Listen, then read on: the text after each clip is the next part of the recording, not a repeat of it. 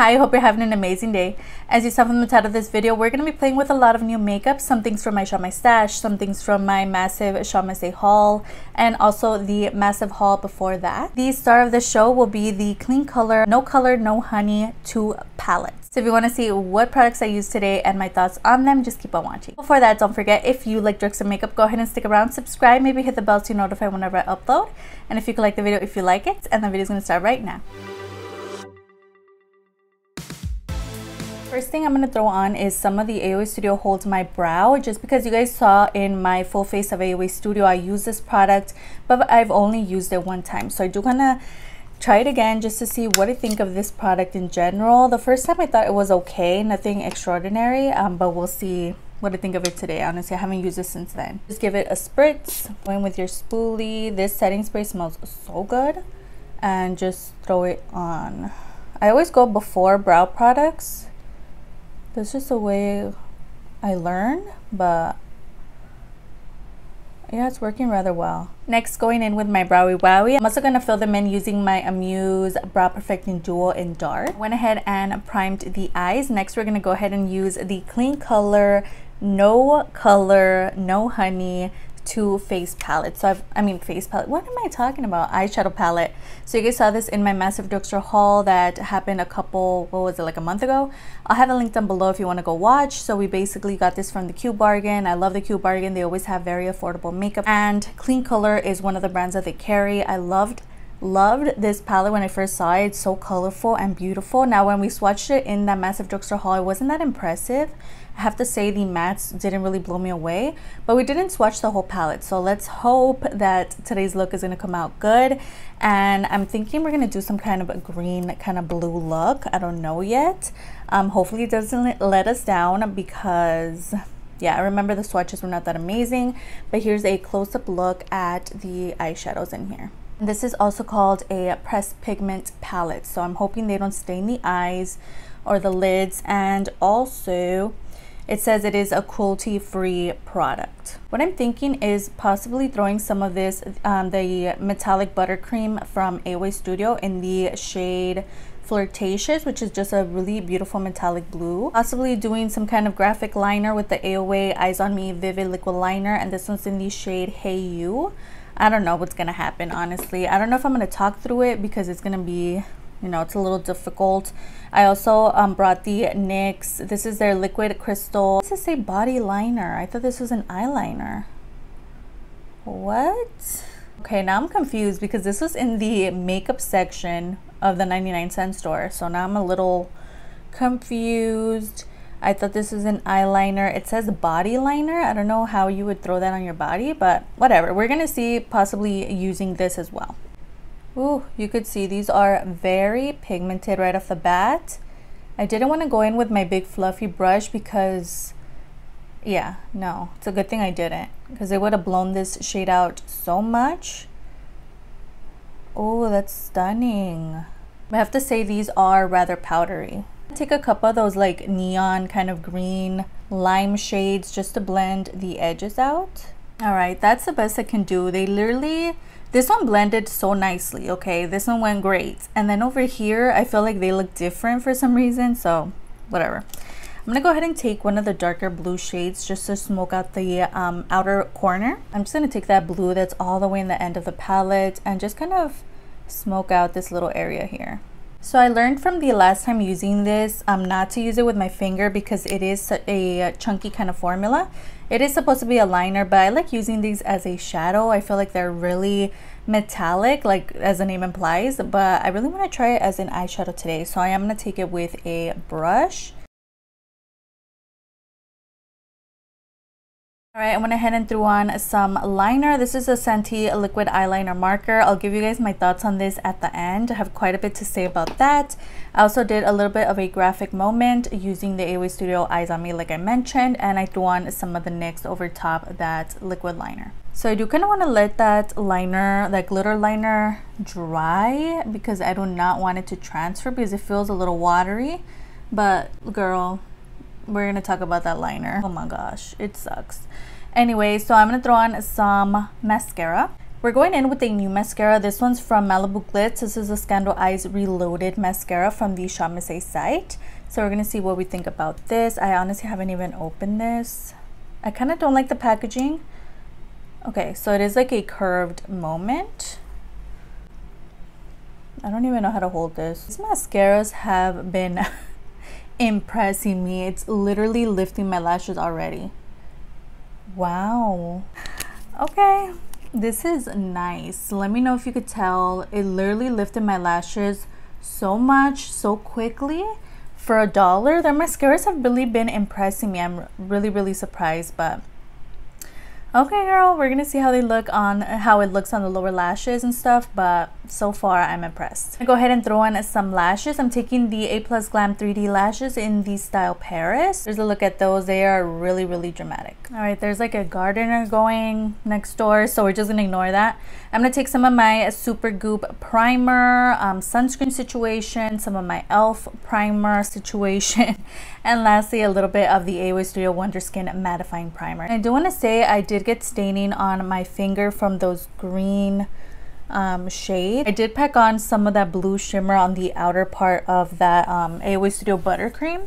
I didn't show it, but it did stain my finger. And in today with primer, trying to finish the e.l.f. one, even though it's so difficult to get it out of here, but it's going. And just a dab of this one. I haven't used this one in a while. I am completely primed. Next going in with a foundation that was one of my favorites I haven't reached for in a long time so I decided to throw it in today's video.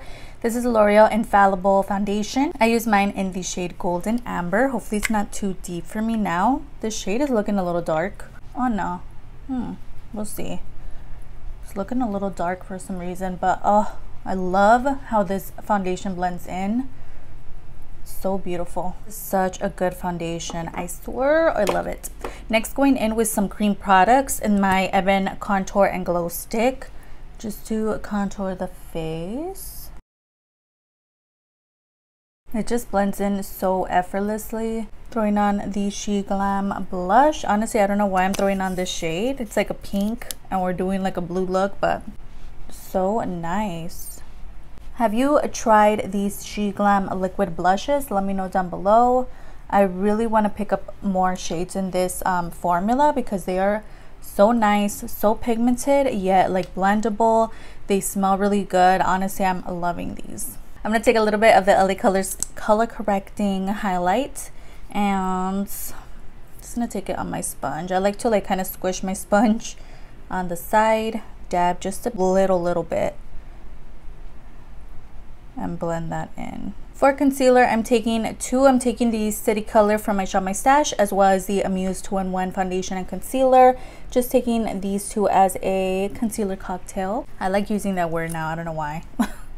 cocktail. So I'm just going to throw some Amuse. Haven't used that one in a while. And then taking this one from City Colors, just a little lighter. I don't know if I mentioned this, but I've been really into Harry Potter these couple days.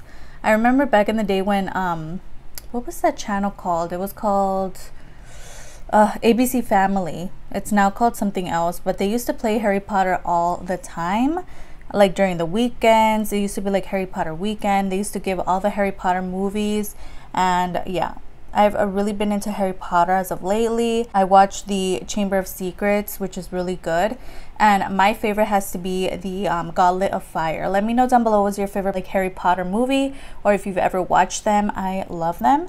Um, and the Goblet of Fire is definitely my favorite because that's the one where he's like in all those games and stuff and it's really, really cool. Definitely recommend if you've never watched Harry Potter watch the movie. And honestly, I could vaguely remember myself seeing the Harry Potter books in my library, like in middle school, and just like running away from them because those books were so big and bulky. I was like, oh no, no, no, no, no. I was much more into like um, mystery books in middle school for some reason. I just found them more interesting, but those Harry Potter books were ginormous. I'm taking my LA Colors contour situation. What powder do we have? Oh, perfect. We have my favorite powder. So at the moment, I am loving the Beauty Creations Press Foundation. It is so good. I just know I'm going to have a good um, foundation day when I wear that. So And I do want to test it with other foundations. There's an airplane going by um, just to see how it works. All right, I'm just taking that powder all over the face. All right, I went ahead and fixed the brows. I finished the lower lash line. Next, I'm gonna take my Beauty Creations Murillo Twins little face palette. It comes with some bronzers and some blushes. So I'm gonna go ahead and bronze up the skin. Just mixing the two blushes in here as well. I'm just gonna stamp them on. Oh wow, that pink one is a little much. So I'm just gonna stick to the orange one in this palette. Well, these are a little bright. I never noticed that. Next, I'm taking the Romantic Beauty Highlights. You guys know I've mentioned this in a couple videos. I'm not the biggest fan of this product. So I wanted to try it out today just to see if I can make it work. Okay, on camera it's coming out a little more vibrant than in person. I just really have to dig in there to get the product. I'm going to throw just a little bit on the brow bone. So I do have a little bit of a lip combo coming. First off, I'm going to line the lips using the ColourPop Lippie Pencil in the shade, this is in Petal Please, one of my faves.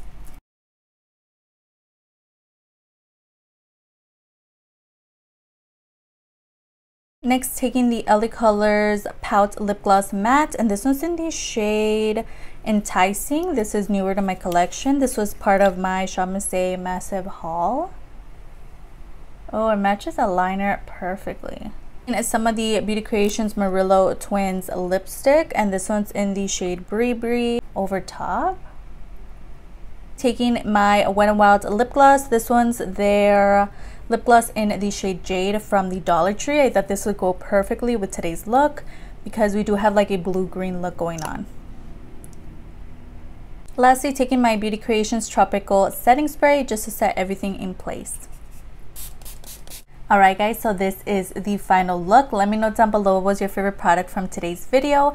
Now we're going to get into my thoughts because I have quite a bit of thoughts on a couple of these items. Let's talk about the product that just sucked out of everything else. Something that stood out that was just horrible that I do not recommend. It is also from the Shop Miss A site. It was featured in my recent Shop Miss A Massive Drugstore haul.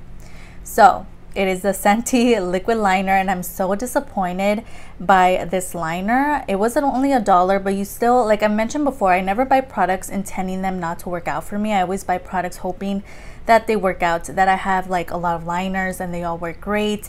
Whatever liner I reach for, that it works for me and for the purpose that I want it for. So yeah, I had to go over top with a different liner because this just did not do it for me. The first time I threw it on like the upper part of the eye, it felt like I was like literally digging into my skin with this like the tip like you could feel the tip going on. It says like if you took a pen and just started like lining your lid you can feel it.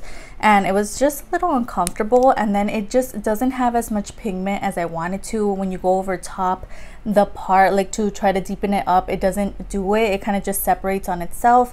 It was such a weird liner. I don't know if I got a bad one. I tried shaking it for a while. I tried like going like this with it maybe heating up the product would have made it better but it just it didn't. So not a product that i recommend. I didn't really enjoy it. I'm gonna try to use it up to get it out of my collection as soon as possible because it's not that great. Let's talk about the products that were just okay um the awe studio eyes on me i thought was fine. I felt like the i was expecting the shade to be like the packaging but ended up being like a green kind of mossy tone which was okay. It ended up working out but eh.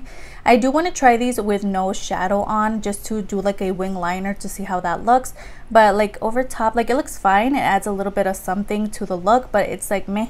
Um, this product here didn't really work that great. This is the glitter liner from malibu glitz and it's the green one. It didn't really pack a punch. I've used the purple one and that one worked a little better. But the green one i don't know. And then i felt a little weird putting it like right like in the waterline because it does have little glitter specks in it. So i don't know if this is eye safe. Honestly i do have to do some research on that but i just didn't feel comfortable throwing it on the lower lash line and it didn't really pack a punch either. It was just like a light kind of lime shade with some glitter specks in it. So i'm like meh about this product as well. Again there's like a gardener going so if you hear that that's what's happening. Next the palette i thought was fine. What was interesting is when i threw on my setting spray it just like kind of started melting like the shadow on the lower lash line started like transferring which was really interesting. That's never really happened with other eyeshadows. I felt like they worked nice. They were just a little difficult to blend.